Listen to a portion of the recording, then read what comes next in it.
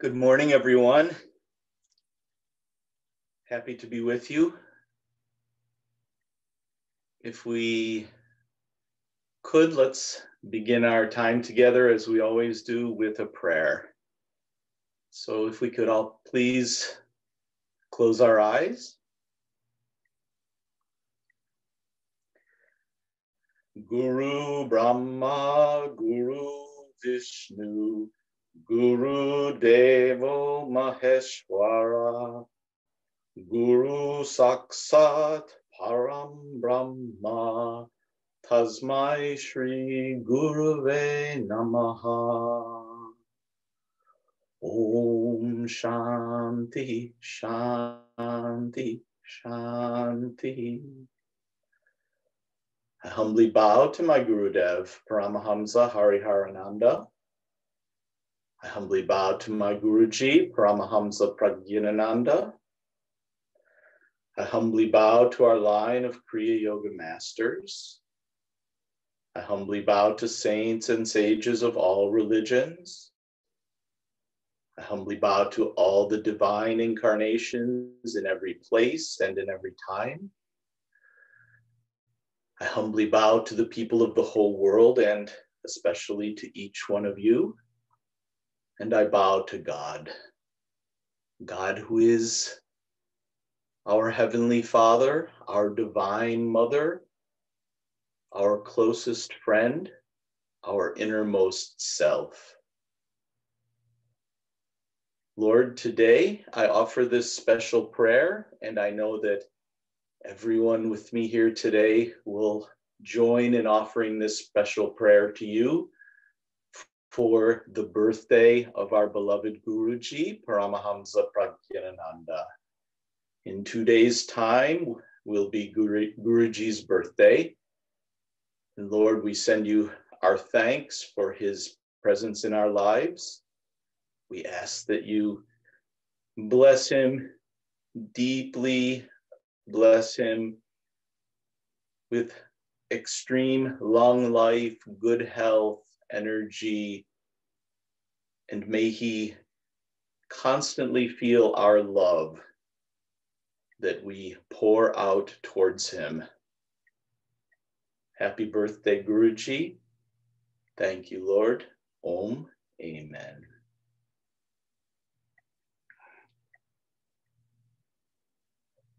So, our Guruji Prajnanananda's birthday coming up very soon. Before I start talking about the topic, um, I was thinking for a moment as uh, I was waiting to start the talk about the days way back when I first was with our Gurudev Hariharananda. Um, I met him in 1988.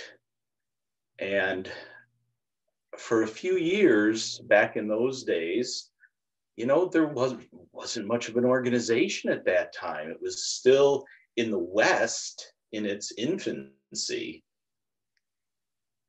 There was no, obviously, internet at that time. We had no websites. We had no easy way for group connections. Um, when we would have any kind of program. I mean, I would literally sit and stuff flyers in envelopes and mail them out to people who had previously shown interest in taking initiation. I mean, this is, if we think about it in today's terms, it was kind of primitive. And I used to worry sometimes at that time. Gurudev is pretty old. What's going to happen if he leaves his body? He to me he was my connection to god. He was my connection to spiritual life. And in addition to loving him wholeheartedly i also worried what happens if he's not here? What then? Everything just disappears and, and crumbles. Now looking back all these years later it's so beautiful how Gurudev, during his time with us um, in the body, he grew and grew the organization. and started some ashrams here in the West and guided us along so beautifully, so gently, so quietly in some ways, and then brought us our Guruji Prajnanananda to continue his work and to not only grow our, our, our Kriya family and our organization more, but really it has exploded over the entire world with the ashrams he's begun, the, the people that he has taught, and the, the souls that he has inspired to follow the path that, that we're all on. So Hariharananda said when he was telling everyone that Prajnanananda would be his successor, that what was started by me will be completed by him. And so I can't express my gratitude and my love to Pragyananda enough for what he's done for all of us. And these days, in one way, it's a little difficult that he's maintaining silence because we all love to hear him talk. We love to interact with him. We love his laugh and his smile and his sense of humor and, of course, his deep wisdom that he constantly shares. But it has occurred to me that right at this moment of difficulty and trials in, in the whole world, that in his silence, he is in some way that's beyond my understanding, helping us all on a deeper, more subtle level, on a, you could say, different plane of existence than is in our conscious awareness. So blessings to, to Guruji, thanks to Guruji, and happy birthday. so today the the topic that came to my mind is out of the mind into the soul. You know, there's an expression, I'm going out of my mind, which usually means I'm going crazy, I'm stressed out, and and uh, I think we could all uh, stand to get out of our minds to get away from that, because obviously over the last year and a half, in addition to the normal uh, challenges of life, there's been a very extraordinary challenge across the planet, and um, our prayers are with those people who are still suffering so greatly in this pandemic at this stage. The topic actually is a result of the experience that I have had using Zoom over this last year and a half. So I want to start talking a little bit about Zoom itself. And if you'll all kind of stay with me, this will connect and and lead us in into the topic that uh, that Zoom inspired me to talk about today. So if you think about this pandemic, the way we've been cut off from each other, not being able to physically be together at programs and retreats, even not be able to be together in our local groups for group meditation, this certainly could have been a very, very isolating time and could have really eroded a lot of the spiritual community that Gurudev and Guruji have built over the last several decades. I think we owe a lot of gratitude to the technology of Zoom for what it's given us as a means to stay connected as human beings and as a spiritual family. It's really quite miraculous if you think that this technology emerged, you know, relatively in the same time, at least in the same era, as this, you know, once in a couple hundred year pandemic. And the people in our Kriya organization who oversee our use of technology and facilitate using something like Zoom um, really, really jumped on this right from the beginning. And using this technology has been a way for us to feel connected through the whole thing as a spiritual family and not feel alone. I have seen that and felt it on our local level. I've seen it and felt it nationally in talks like this. I see it and feel it internationally when uh, occasionally I give talks to our Kriya in South America. And you know, you look and see who's joining in on any given talk on any given day. There can be people from any place in the world. So it's really beautiful.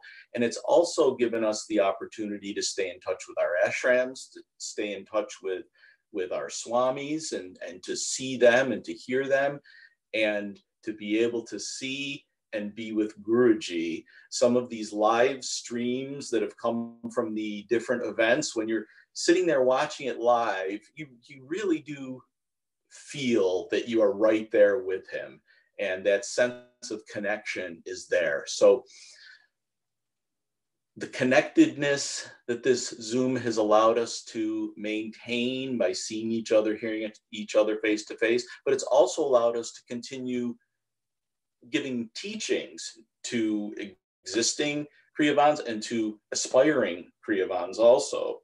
And being able to share teachings, share spiritual ideas, to grow intellectually in our understanding of spiritual life is also very um, important. And this has been continued through the use of this technology. So Zoom is a wonderful uh, tool that we've been using. But let me share with you the experience that I've had with my local group here in Rochester that led me to the thought of this talk. It actually, it did more than that. It, it didn't just lead me to the, the idea for to give this talk for a little bit this morning. It really, the experience with Zoom and our group highlighted for me a very core aspect of our spiritual practice and that we should all be very conscious of as we're trying to work our way down the spiritual path. So what happened when this first the pandemic first came along and we had to stop having in-person meditations? We very soon after substituted a weekly Zoom get together at the same time on the same evening that we would normally have had our group meditation. And at first, it was just a means for us to check up on each other as friends and say to each other, Are you okay? Is there anything you need? Um, can we get you anything? I mean, we all remember those days, the the shelves in grocery stores were empty. People were completely out of some of the uh, essential things that they needed in their households. So that it was a means to just say, you know, does anybody need any help? Is everybody doing okay? And to sort of stick together through the really, really uh, difficult beginning part of this when so much was unknown. So after a while, we decided that, you know, not only will we just use this time to check in with each other, but let's, you know, sit and practice a little general meditation together so we can um, con- continue our practice. After a while, we said, well, why don't we incorporate some sort of spiritual discussion, some sort of conversation uh, about a spiritual topic in, in with this session. And then the idea came to me to suggest why don't we all take turns bringing a topic for the week? And anyone can volunteer. You don't have to if you don't want to, but people would volunteer. And so each each week, someone would bring a, a spiritual quote or thought or question or idea to share with the group or some kind of reading to share with the group, and then we would discuss that as a group. We would still, you know, when we first logged on, check in with each other just as as friends and see how everyone was doing, see what's happening with their families and and catch up with each other. But then we would have this spiritual discussion time and then we would have a meditation at the end. And sometimes the meditations started growing shorter and shorter because we would get into very, very long, in depth um, conversations about whatever topic. And I like doing this. I've always liked doing it whenever I'm sitting with any of you, any of you at the ashram or in a program someplace. I love the interchange. Like today, where I'm just like sitting and talking at everyone, not my favorite thing. I like it better when we can have a back and forth conversation because throughout all my years in Kriya, I have always observed that the people that are part of our Kriya family are a bunch of people who are highly intelligent, highly educated, have deep insights about things, and many, many wonderful thoughts and ideas to share about the spiritual journey that that we're on together. So I would, and and the interchange would take the conversations in places and in directions that just couldn't be foreseen and, and very, very often really beautiful and really interesting uh, directions. So what started happening after a while is because these conversations got so good, they would quite often take up pretty much our whole Zoom time together, and we might wind up having a five or 10 minute uh, meditation at the end. So ultimately, what happened, I started getting some feedback from the members of the group that, um, you know, we would rather just greet each other, maybe have me say a couple of short things about some some spiritual thought and then spend most of our time in meditation so that's what we have changed to at this point. So I thought about it. I thought we were having, you know, really fantastic conversations. Um, generally, people like it when they're included in things that they're not just. I'm not just saying to them, sit there and listen to me, you know. Um, so what?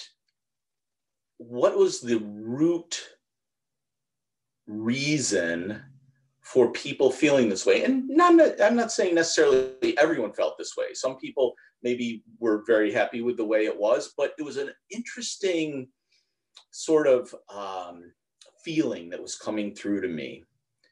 So I reflected on it a little bit, and what I realized is is what I want to share with you is is a very very core part of our spiritual life is that as we were spending more and more time in conversation and going into deep analysis of, of the meaning of a Sanskrit word or um, you know back and forth over how to interpret some sort of spiritual teaching, we were just being more and more and more immersed in our minds. And whether people realize it consciously or not, it's my feeling, my humble sort of assessment of things, that deep down, what gave that um, little bit of feeling of unease with, with what we were doing was that our spiritual practice, our direction that we're trying to go, is to get out of our minds and into our souls. So, hence the topic for today's talk. Talking about spiritual topics and, dissecting Sanskrit words and dissecting scripture and all that, there's absolutely nothing wrong with it. Please don't under don't misunderstand me. It's a wonderful thing. It's a it's a spirituality is a vast and extremely interesting topic and many things are learned through conversation about it, through reading about it. Um, and that is a necessary part of our path because Gurudev would often say, we are not to follow blindly, we are to have understanding of what we're doing, right? But he would also say that if all you do is spend your time reading books about spirituality, then what you wind up being is a bookworm, not realized, because you're spending all of your time in the intellect, in the mind. And Baba would say that what we need is practice. He would say, practice, practice, practice. Practice makes you perfect, meaning that it is the practice of our meditation, of our Kriya in daily life that is taking us out of our mind, which we normally are completely identified with, and shifting that identification to the soul, to the living presence of God within us. And I realized that as valuable in one way as our spiritual conversations were with the group, that there was wisdom that was being presented to me that I had to be aware of that that yes, we should be spending more of our time meditating together as a group. As we all know, the power of group meditation is so important because the the the consciousness, the energy of everyone sitting together pools together and brings everyone up together. They say, you know, a rising tide lifts all boats. It's like that in group meditation. It's easier to meditate deep, more deeply and more quietly when you're in a group. We all help each other in that regard.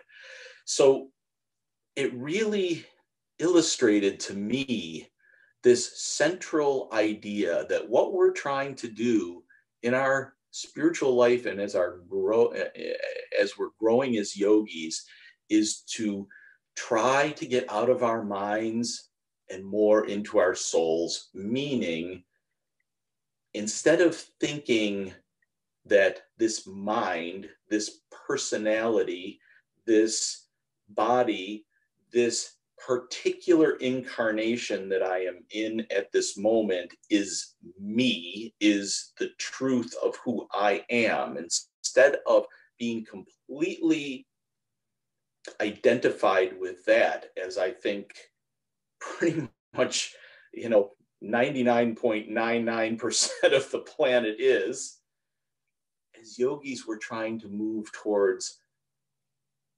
identifying that the real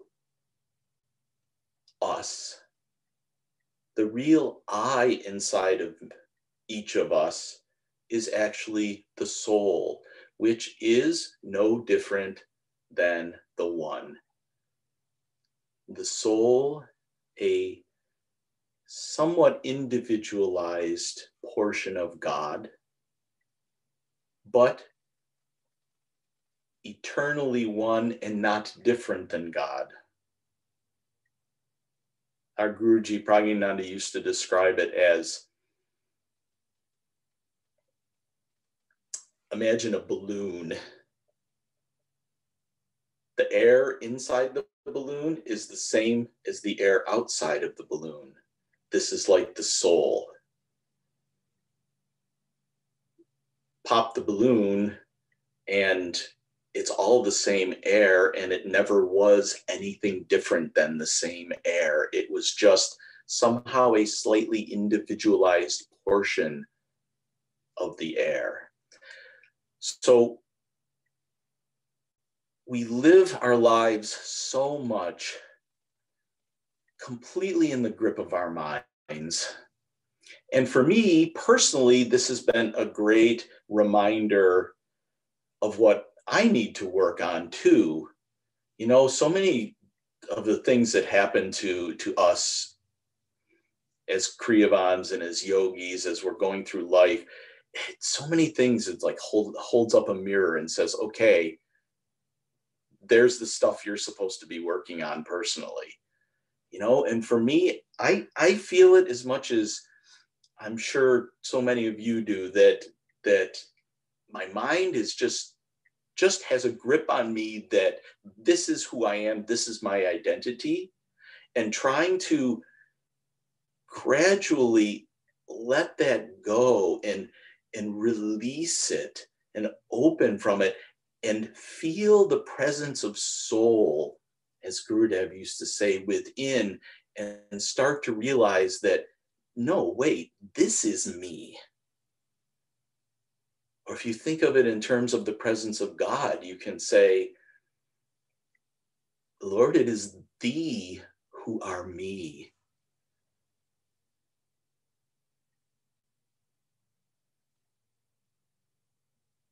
So, how to get there?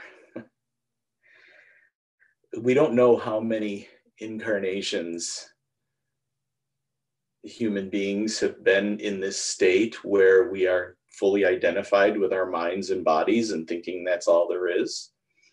It is also the prevailing state of overall human consciousness on the planet. So we are part of that also. So you could say it seems like kind of an uphill battle, and sometimes it feels like kind of an uphill battle, especially because your mind is connected to your emotions. And sometimes in life, we feel anxieties, we feel depression, we feel despair, especially during times we've gone through lately as, as, a, as a human race. And things that happen to us in our own personal lives.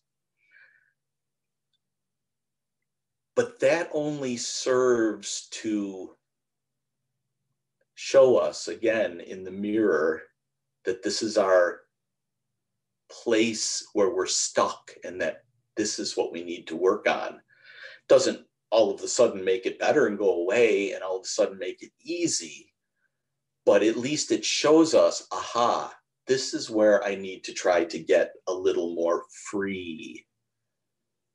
This is the underlying idea of detachment. It's not about being cold and heartless, detachment. It's about being free. And you can be free and be compassionate and full of love.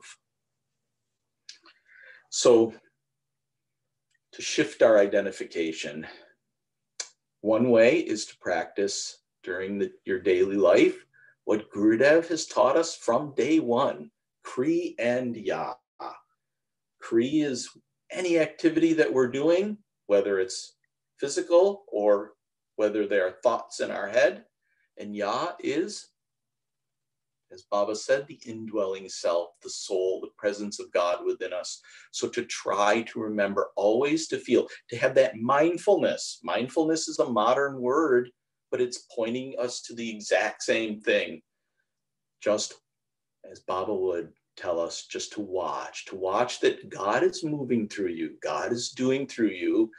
It is that presence within you that is why you are alive, that is why you are taking each breath, that is why you are breathing. And realize that it is not some other presence, God is not something other that's in you doing this through you.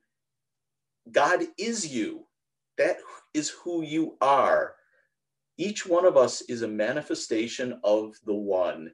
And we have to realize that that identity is what we discover when we start to draw ourselves away a little from the thinking mind and quiet the thinking mind so, watching, feeling that presence in us as we're doing our daily activities, but then in our meditation.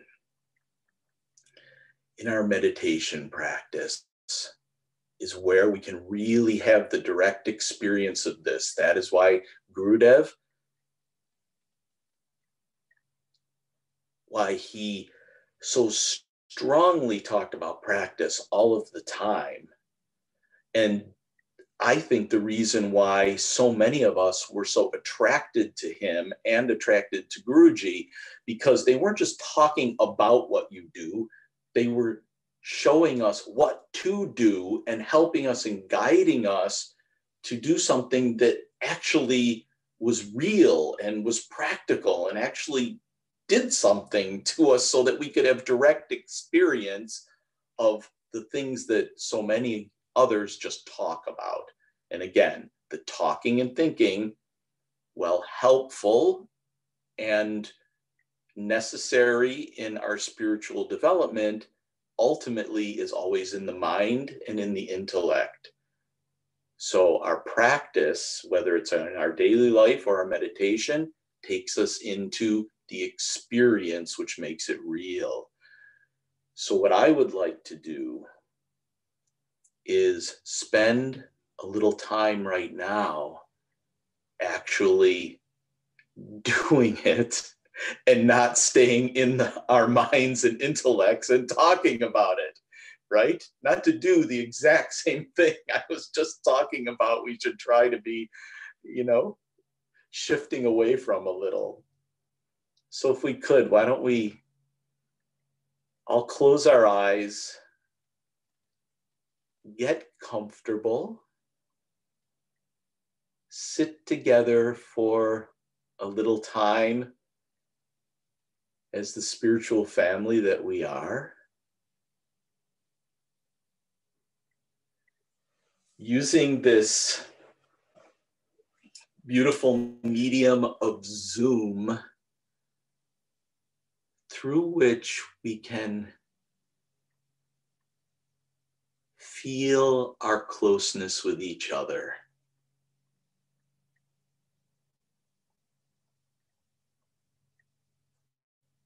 Just sit there and feel the closeness of your brothers and sisters, your spiritual family all around you.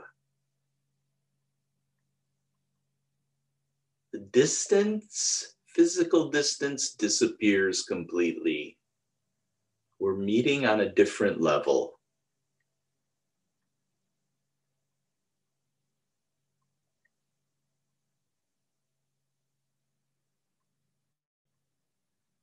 For the meditation experience, begin by relaxing your body.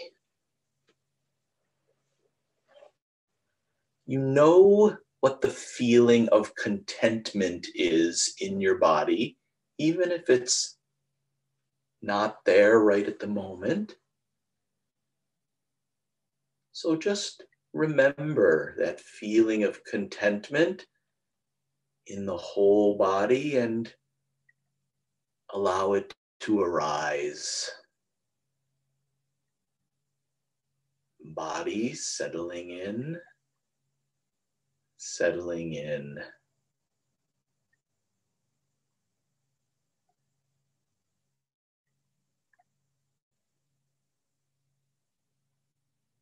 Allow the mind to start to slow down. Just inwardly feel slowing down, slowing down.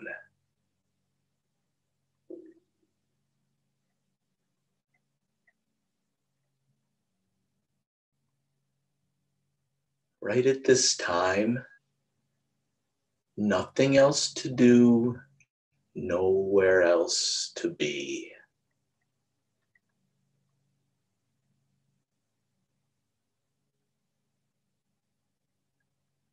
And then some awareness of the gentle incoming breath and outgoing breath.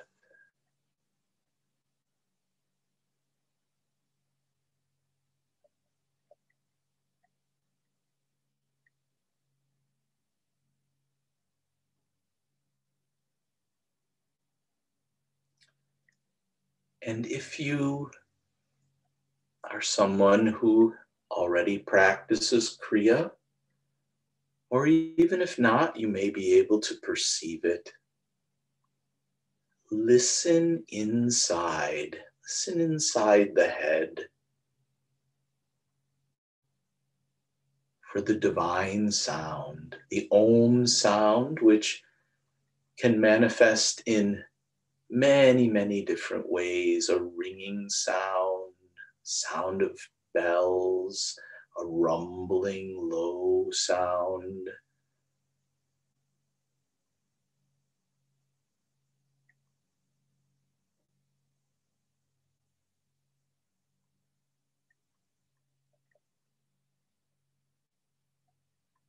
Then feel inside also, either inside the top of the head or in the whole body, some kind of movement sensation. Some kind of pulsation or vibration, gentle rocking sensation.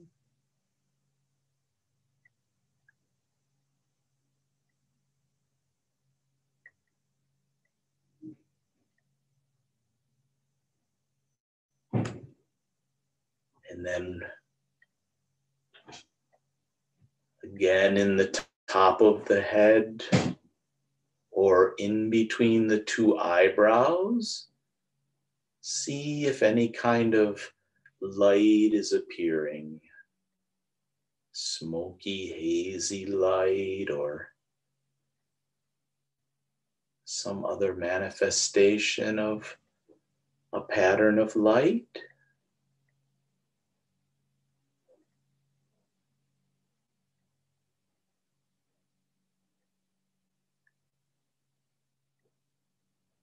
The breath is the physical manifestation of the living presence of God. The light, the sound, the vibration are the very subtle manifestations of the presence of God. The first energies emerging from the formless to manifest this form.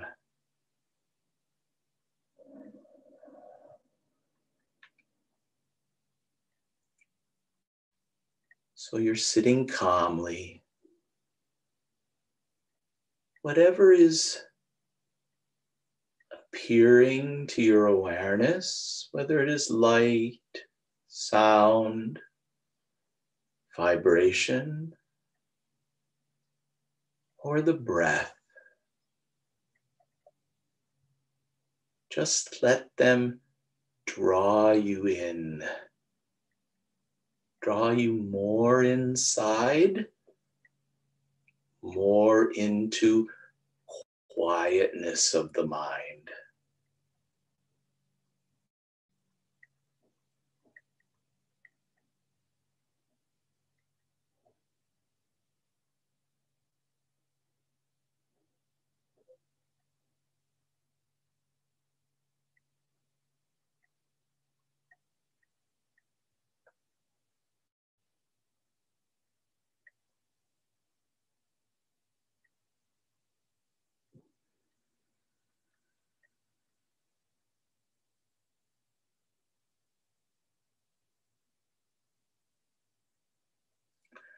As you are observing the breath or the light, sound, vibration, whatever is coming through to you. What is happening?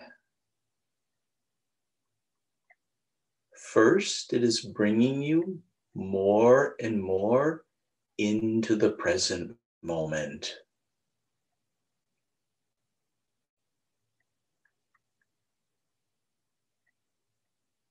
The more focused in the present moment, the less mind there is because you're not thinking about memories from the past and you're not thinking about anticipation of the future.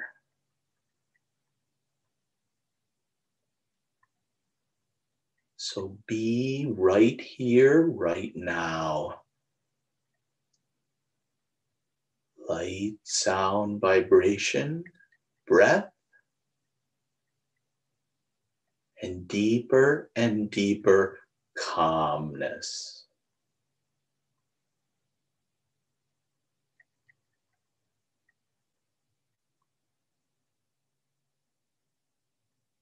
So, moving into the present moment moves us more out of the mind and into the presence of soul.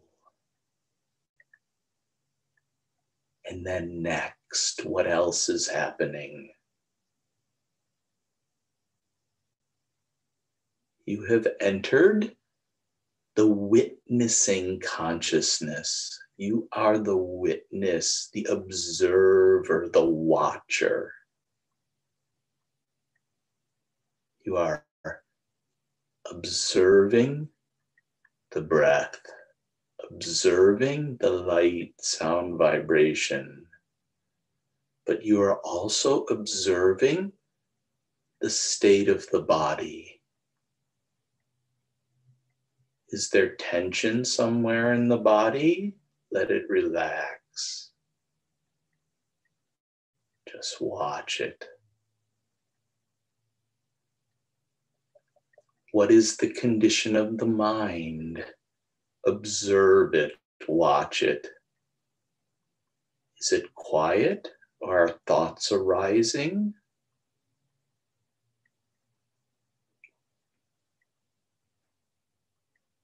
Allow it to settle more.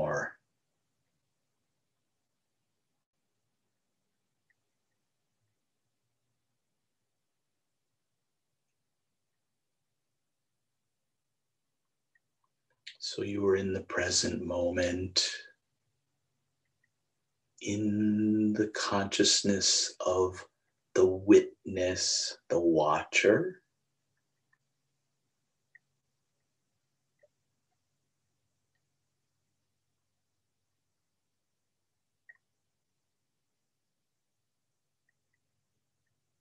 If you are watching the body and watching the mind, are you not something other than the body and the mind? How can something watch itself?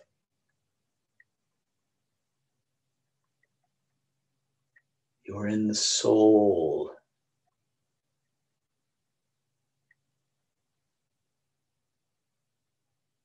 And the more we settle into it, the more peace and calmness is there. Because this is home. This is our identity. This is who we really are.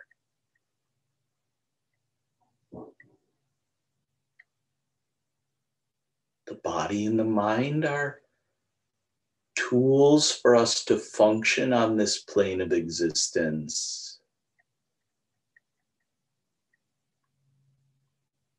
But Baba would say when he was guiding meditation to forget, forget them, forget they exist. He would say,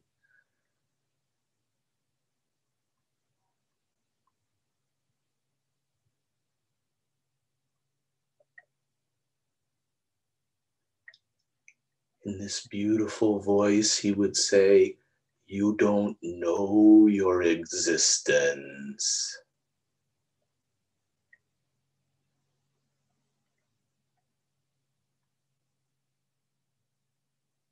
Not to be afraid to lose the identification of who we have always thought we were because we're gaining all of infinity. We're becoming, we're realizing that we are everything.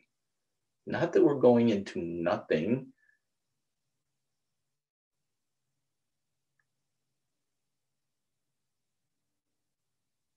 now we'll take it one step further.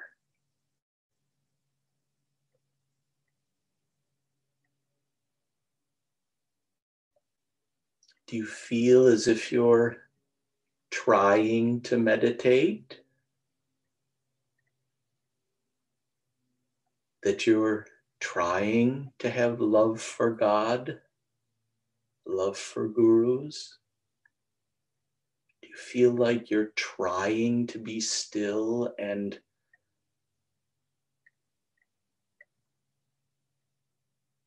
and that you're doing a meditation,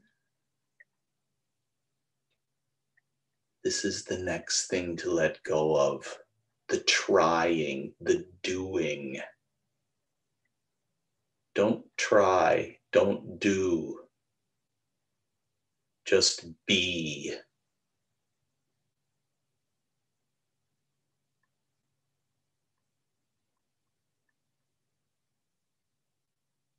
Just be the soul.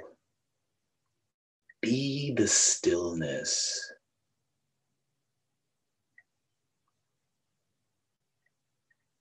Just be love.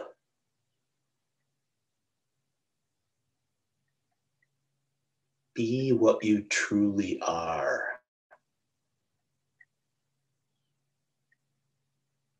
This is our meditation to just sit in the stillness and just be.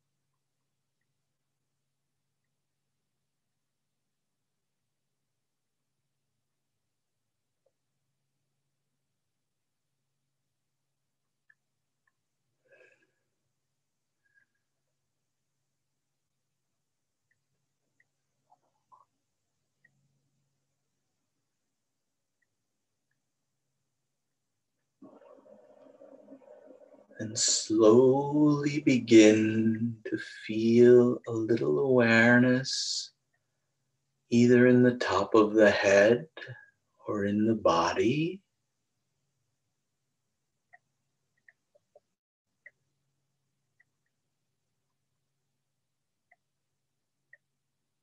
And as you regain some body sense, you can Perceive that the body is there waiting to function.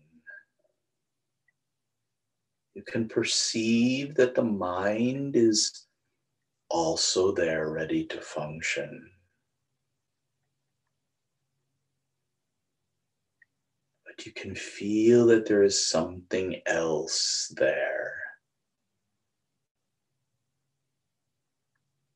That infinite presence that is the real you.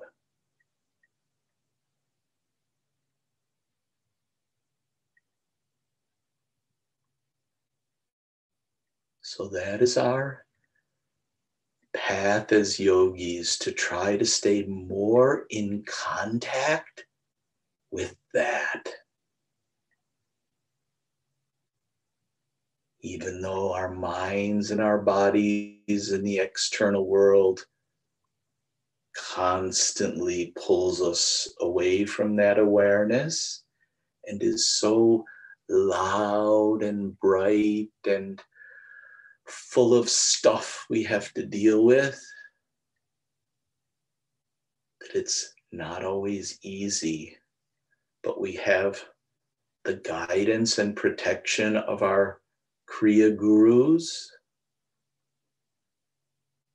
And we have the tools and the understanding to work on it.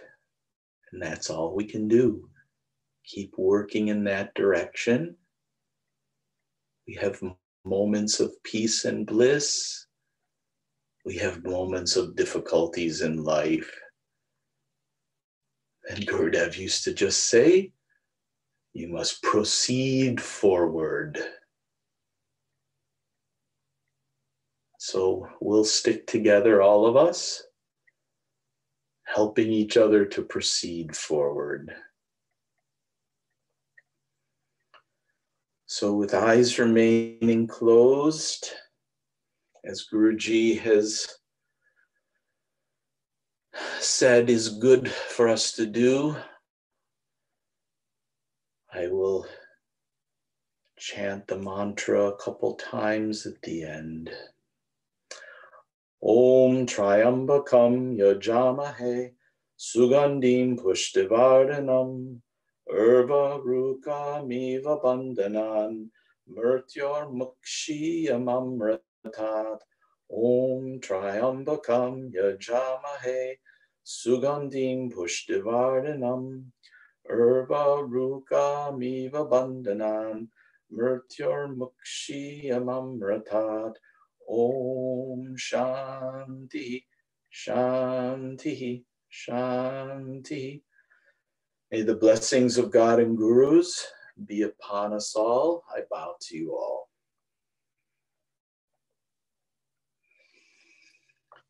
Thank you, everyone.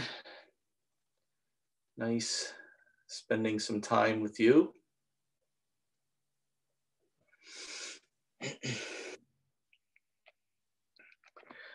and I hope you all have a good day and talk to you soon. Thank you. Bye.